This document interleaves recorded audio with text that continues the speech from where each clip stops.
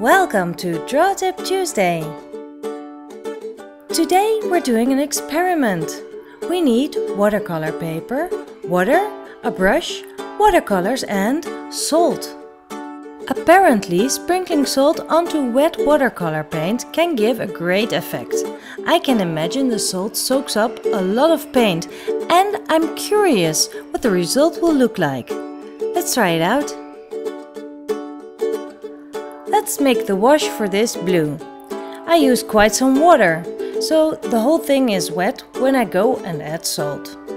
I mix two kinds of blue and sprinkle and splash a bit as well, just because I can.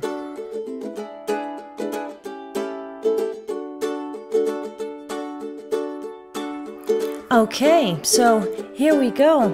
I sprinkle the salt, just a bit here and there, and then when we're done, all we have to do is wait.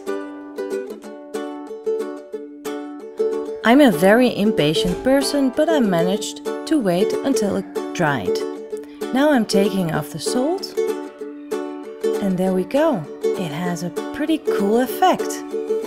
Some of the salt dried into the puddles, and I leave it as it is. The surface is not fit as a background for a detailed line drawing. So I just use my brush to draw in a quick drawing of salt. Who would have thought that salt is so versatile? It's great on your plate as well, but not too much. Thank you for watching this video. If you want to learn more, have a look at my website koosjekoene.nl. Make sure to grab your free copy of my ebook 10 Habits for Inspiration koosjekoenen.nl